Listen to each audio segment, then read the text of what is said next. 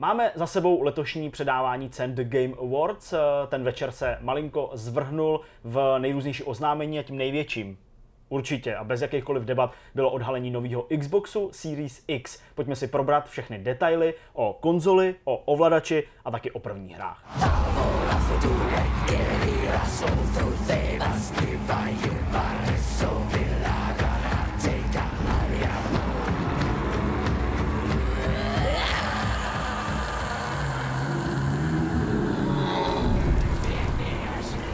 Jak už Zdeněk prozradil, rozhodli jsme se sesumírovat všechny nejdůležitější podrobnosti, které jsou teďka nově k dispozici na konto nového Xboxu, nový generace konzole od Microsoftu. To jméno už jste slyšeli, Xbox Series X, to je nezvyklý název, něco, na co se bude muset ještě chvíli zvykat, něco, co nás možná přinutí trochu i změnit tu výslovnost a používat tu pravou eh, anglickou výslovnost Xbox Series X, X. Možná uvidíme nyní už žádný Scarlett, samozřejmě Jasně. tenhle ten název byl jenom pracovní a došlo taky k potvrzení skutečnosti, že tahle konzole přijde na trh koncem roku 2020, tedy s největší pravděpodobností na Vánoce nebo těsně před Vánoci, aby Microsoft stihnul tuhle tu vrcholnou sezónu.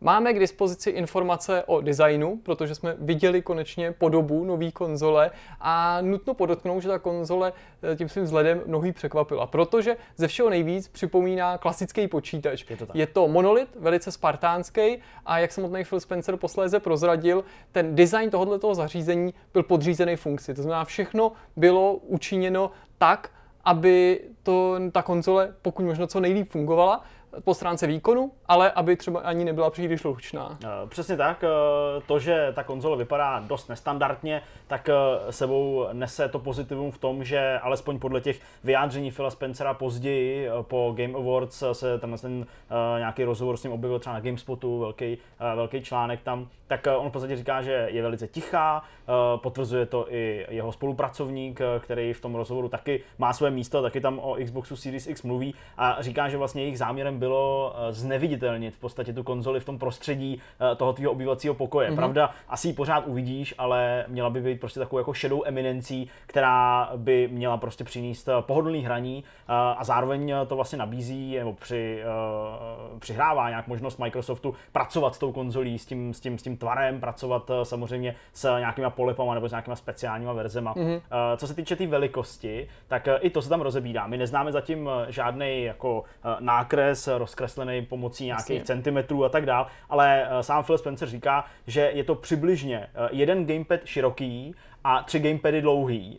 Uh, tu konzoli můžete postavit jak vertikálně, tak horizontálně. Ano. I když teda pravda horizontálně, uh, nevím, to se vám asi nevejde nikam do nějaký jako poličky, uh, klasický videa, tak, nebo takový to, to vypadá místo. dost, uh, hmm. přesně, to vypadá tak dvojnásobně vysoký než aktuální Xbox, takže uh, v tomhle ohledu teda budete asi muset přemýšlet nad tím místem. Jinak samozřejmě spousta lidí ještě před tím letím představením toho vzhledu řešila, jak se vlastně ten uh, slibovaný brutální výkon do té konzole vejde. Konec hmm. konců tohle je něco, co i magazín GameSpot nesnad přímo spochybňoval, ale tuto tu otázku si klad právě, jak ten design té konzole bude muset být řešený, aby se všechny ty komponenty do toho zařízení vešly. Výsledkem je teda tenhle ten víceméně utilitární PC připomínající design. S tím se pojí spousta dalších potenciálních otázek, jestli třeba se Microsoft nevrátí k té myšlence modulární konzole, jestli nebude něco možný v té mm-hmm. konzoli upgradeovat. Konec konců i ten název Series X nebo Series X by mohl naznačovat, že třeba se dočkáme i nějakých jiných sérií nebo jiných uh, čísel a označení jiných názvů v rámci této série. No a když jsem ten výkon nakousl, tak musím samozřejmě tedy zmínit to, co se taky objevilo jednak v oficiálním příspěvku na blogu, ale rozebíralo se to i v tom povídání. A sice, že nový Xbox má být čtyřikrát výkonnější než ten stávající nejvýkonnější, to znamená než je Xbox One X. Teďka bychom se mohli, myslím, chvíli věnovat tomu gamepadu, protože Jasně. i k němu se stočila řeč. Dočkáme se nového gamepadu, přičemž ale Phil Spencer, respektive Microsoft, říká, že byli s tím stávajícím spokojení, nejen s tím klasickým, který je součástí konzole, ale i s tou verzí Elite. To znamená, že se nepokoušeli o žádnou revoluci, nechtěli vytvořit hmm. od základu nový gamepad, ale chtěli ten stávající upravit, ještě ho vylepšit a proto ty eh, úpravy se můžou zdát na první pohled takový decentní minimálně ve srovnání s tím, co si slibuje Sony u nového PlayStationu. V první řadě ten ovladač má mít ještě nižší latenci. Měl by být díky novému způsobu spojení s tou konzolí bezdrátovýmu ještě hbitější a ta odezva by měla být ještě příjemnější. Dočká se tlačíka Share, toho Share buttonu, speciálně tlačíka, který nám umožní pořizovat screenshoty nebo nahrávat videa. A po vzoru uh, gamepadu Xbox Elite Series 2 což je ještě relativně nedávná novinka, se dočká i toho přepracovaného hybridního D-padu, neboli toho křížového ovladače. Přesně tak, ten gamepad by měl být o trošičku menší, i to ostatně Phil Spencer v tom rozhovoru pro GameSpot uh, uh, zmiňuje, říká, že uh, dostali nějaký feedback od lidí, že ne úplně všichni byli spokojení s velikostí mm-hmm. toho aktuálního ovladače, takže ho trochu zmenšili tak, aby údajně to prostě padlo do rukou 95 až 98% hráčů. Eh, říká taky, že bude zachovaná ta funkcionalita eh, těch vrnících triggerů, to znamená, že tam budou ty motorky, tak abyste měli tu odezvu. To docela chválím, protože mhm. v těch závodních hrách zejména je to fakt užitku a určitě i najde Stopro. uplatnění v nějakých jiných záležitostech. No a to je asi v zásadě k tomu ovladači všechno. Já bych pokud... možná ještě okay. dvě věci doplnil a sice, že tenhle ten uh, super ovladač nebo nový hmm. gamepad přirozeně bude součástí každý té konzole, každý toho balení balení. Není to tedy jako ekvivalent toho Elite ovladače, že by to byl nějaký extra ovladač. Tohle je ten primární, který k nový konzoli bude přibalený. A zároveň je dobrý vědět, že bude kompatibilní se zařízením, respektive s PC, s operačním systémem Windows 10, ale bude kompatibilní i s klasickým Xboxem One, respektive Xboxem One Jasně. X. Takže budeš moci tedy použít zpětně. Tím se možná dostáváme k té hodně důležité informaci, která sice ještě nebyla úplně jako exaktně řečená ve smyslu toho, že by ano, nový Xbox uh, Series X byl kompatibilní kompatibilní s Xboxem One, Xboxem 360, původním Xboxem, nic takového nebylo úplně přesně řečeno, ale vlastně to zaznělo trochu jinak a, a to tak, že prostě uh, na novém Xboxu, Xboxu Series X, byste si měli mít možnost zahrát tisíce her, které kdy vyšly napříč všema generacema Xboxu a to si myslím, že víceméně hmm. potvrzuje to, co tady naznačuje. Mluví se o všech generacích, ale nenutně o všech hrách, tak je, že je možný, že to bude samozřejmě ta podpora pokračovat formou té softwarové emulace, ano. respektive softwarových řešení a v ideálním případě se dočkáme všech všech těch her, které už momentálně na Xboxu One fungují, ať už jsou určený pro Xbox One nebo v rámci zpětné kompatibility byly z původního Xboxu, případně 360 a eventuálně se ta knihovna třeba ještě mm. těch starších titulů navíc uh, bude, bude rozšiřovat. Jinak pokud jde o ten výkon mm. a mhm. ten hardware a ty vnitřnosti, k tém, ke kterým sklouzáváme, tak já bych to otevřel tím, že samotný Phil Spencer naznačuje v tom příspěvku na blogu, že chtějí hráče a vývojáře prostřednictvím té nové konzole zbavit jakýchsi okovů a bariér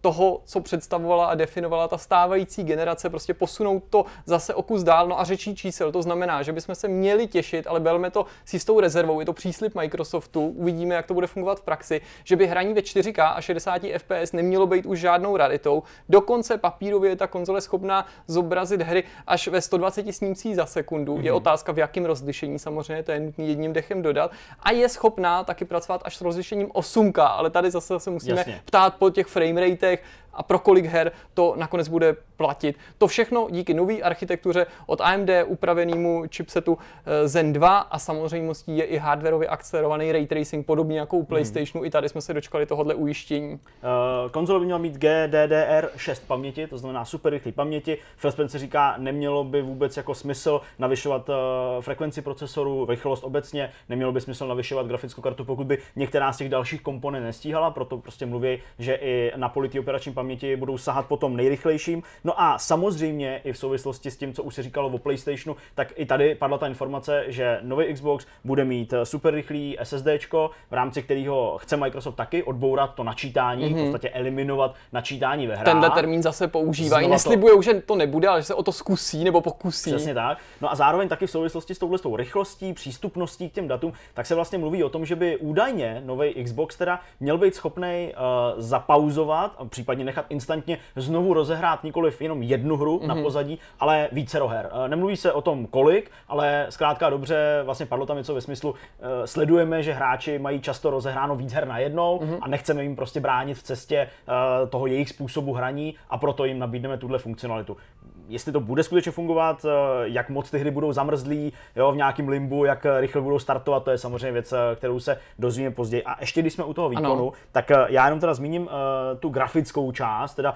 jenom tu grafiku, ačkoliv ta sama o sobě taky nutně nemusí o ničem vypovídat, pokud není v nějaký kompatibilitě s těma ostatníma komponentama. A tady nejsou lidi z Microsoftu nějak konkrétní, neříkají přesně ten výkon, ale přesto tam přichází nějaký porovnávání s tou aktuální generací. No a Phil Spencer řekl, že ve smyslu grafického výkonu v těch teraflopech, tak uh, údajně teda nový Xbox Series X má být 8 krát rychlejší než úplně původní Xbox mm. One, uh, ten, ten základní model, a uh, dvakrát rychlejší než Xbox One X. A to teda znamená, že vzhledem k tomu, že Xbox One X měl 6 teraflopů grafického výkonu, tak by Xbox One, uh, pardon, Xbox Series X měl mít 12 teraflopů grafického výkonu. Ale tyhle ty měření a různé takovéhle počty, to samozřejmě hmm. až uh, tu konzoli obdrží lidi jako Digital Foundry a tak dále. V souvislosti s novým Xboxem se samozřejmě nemluvilo jenom o hardwareu, o výkonu, o těch parametrech, mluvilo se i o službách a dočkali jsme se ujištění, že služba Game Pass bude i na novém, uh, novém Xboxu k dispozici, že bude pokračovat na této nové konzoli, že nový Xbox Series X má být připravený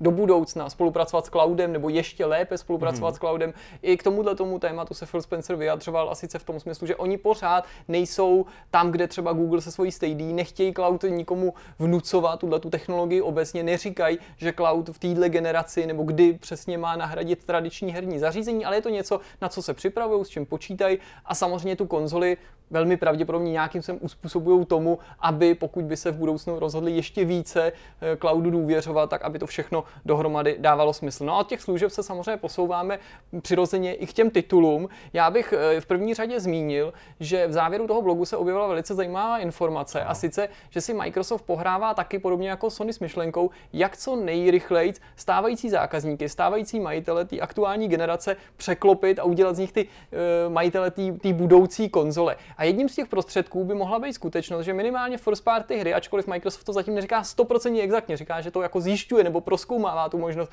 tak to vypadá, že first party tituly, které si koupíme na Xboxu One, by měly být kompatibilní s tím novým Xboxem, ale ne ve smyslu toho, že tam půjdou pustit, ale že budeš mít jako jednu licenci v případě těch digitálních verzí a že ty hry budou sdílet trofeje i uložený pozice, to znamená ten přestup, že tu na tu novou generaci by měl být uh, takový jako snažší, příjemnější a zase o něco veselější. Tak eh, minimálně třeba nový Halo, eh, který je samozřejmě tedy určený i pro aktuální mhm. generaci, mm-hmm. tak hádám, že asi bude chtít využít výkon nový generace, Jasně. takže na Xbox Series X se taky objeví, takže v tomhle případě by to asi dávalo. A kdyby to byla smysl. ta jedna licence, tak by to bylo samozřejmě bylo velmi by to šikovný. super a umím si představit, že u těch first party, takových těch nejprominentnějších značek Microsoftu, respektive Xboxu, jako je třeba Forza nová, o který se taky mhm. spekuluje, mm-hmm. mluví, tak že by přesně měla plnit tuhle funkci. Já si myslím, že lidi z Microsoftu jsou spíš opatrný, aby neslíbil něco, co třeba z nějakého důvodu uh, souhrou nějakých blbých náhod by nevyšlo. Nebo ale to nemůžu považoval, spíš bych to považoval jako takhle bokem, neoficiálně, za něco, co jako bude takřka stoprocentně, mm-hmm. jo, protože to si myslím, že jako jim hodně, hodně pomůže. K té kompatibilitě bych možná jasně. ještě dodal jednu věc, i když ta se netýká softwaru, ale hardwaru, respektive příslušenství. A sice informace, kterou možná někdo očekával, ale je pořád zajímavá, je to velmi jako dobrá zpráva. A sice, že veškerý příslušenství, který bylo vyráběný pro Xbox One, bude kompatibilní taky s tou novou konzolí konzolí, což jako se nám může zdát eh, jevit jako logický. Na druhé straně, jaký by to bylo pěkný, kdyby jsme třeba k P4 mohli eh, připojit, eh, já nevím, DualShock 3 v době, kdy jsme třeba ještě nebyli zásobení novými gamepady. Takže i to, že myslí nejen na tu zpětnou kompatibilitu, ale i na použití původního příslušenství u nového systému Microsoft, to se mi líbí.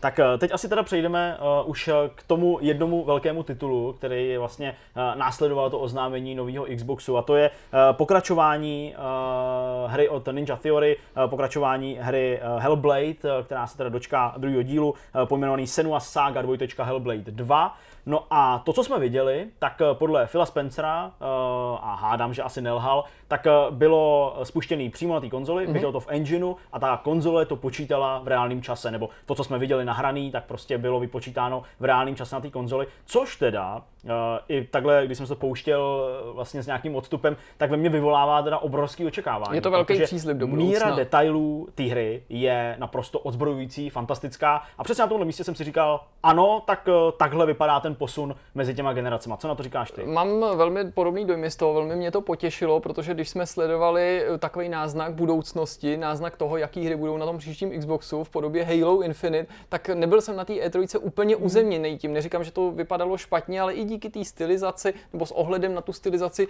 mě to prostě tak nevyrazilo dech. Myslím si, že Hellblade v tomhle smyslu udělal eh, mnohem lepší reklamu té budoucí technologie. Navíc je to teda fantastický příslip i stran toho, že my víme, že ty launchové tituly a jejich jako grafický zpracování samozřejmě bude v těch následujících letech znovu překonaný, ačkoliv eh, konkrétně třeba v tom příspěvku na blogu se na konto toho Hellblade 2 píše, že maximálně využívá veškerý ten hardware, výkon a možnosti, tak my víme, že vývojáři časem najdou ještě zajímavější cestičky, ano. najdou další způsoby, jak ten vývoj optimalizovat realizovat. A v té souvislosti je nutný zmínit, že to samozřejmě nejsou jenom Bungie, že to nejsou Ninja Theory, ale že je to všech 15 first party studií, který Microsoft v tuhle chvíli vlastní, který už mají pracovat na exkluzivních počinech pro nový Xbox, tak aby ta konzole byla maximálně dobře zásobená. Zdá se, že, že Hellblade 2 by měla patřit do toho launchového line-upu, ale s jistotou to nevíme, ne, nebylo to hmm. jako definitivně potvrzený. Uvidíme, jsem zvědavý na ty další. Microsoft taky tvrdí, že to portfolio bude nejširší a nejpestřejší, co kdy takhle dělali pro novou konzoli nebo pro nový systém. A samozřejmě to není jenom Microsoft a nejsou to jenom jeho studia.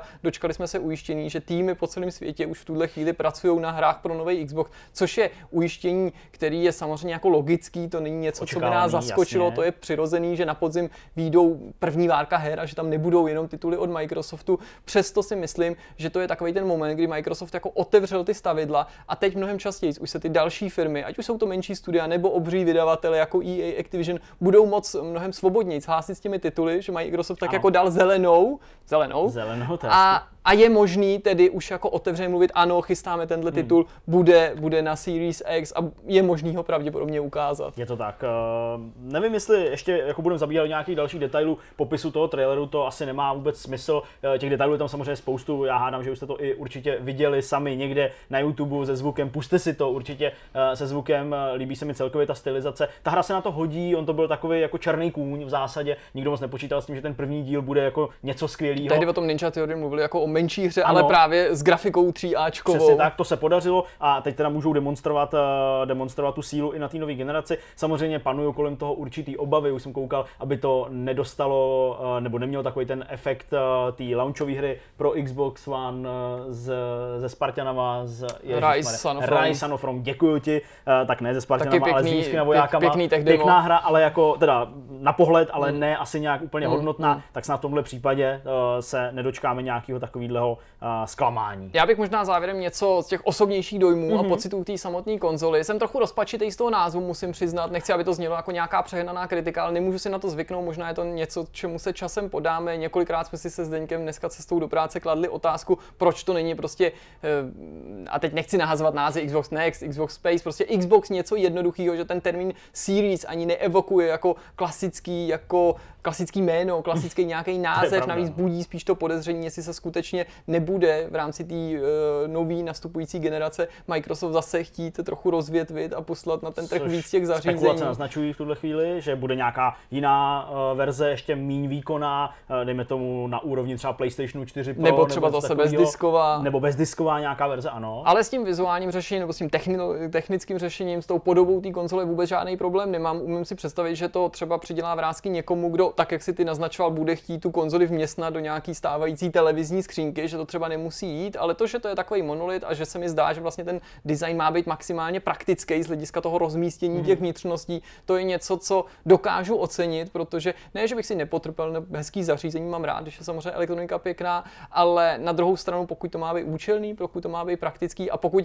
tenhle ten tvar, který nám teda ze všeho nejvíc evokuje v tuhle chvíli nějaký PC, má být to nejvýhodnější z hlediska výkonu a hlučnosti, tak tomu dávám přednost před nějakým jako designovým uh, ohňostrojem, který ale pak vede k tomu, že se ta konzole přehřívá, hučí nebo by ztrácela něco po stránce výkonu. Hmm, tak uvidíme, jak to dopadne. Nová generace už eh, otevřela dveře, eh, skoro do kořán by se dalo říct. Eh, v případě Microsoftu je to možná i malinko vyvrácení určitých pochyb, nebo možná snaha Microsoftu vyvrátit pochyby, že se Xboxu novýmu příliš nedaří v těch takových těch jako vývojářsko nějakých technologických prostorech, že údajně tam prohrává nějakou, nějakou bitvu s PlayStation 5 5, tak možná i tohle to byl ten důvod, proč jsme se toho oznámení dočkali tady na akci Game Awards, nikoliv na XO19 nebo na nějaký uh, vlastní odhalovací akci, hmm. ale i to k té nové generaci patří. Teď se můžeme těšit na to, s čím se vytasí uh, nikoliv Microsoft, ale Sony, uh, co ukáže v rámci PlayStationu a na to si musíme ještě počkat. Uh,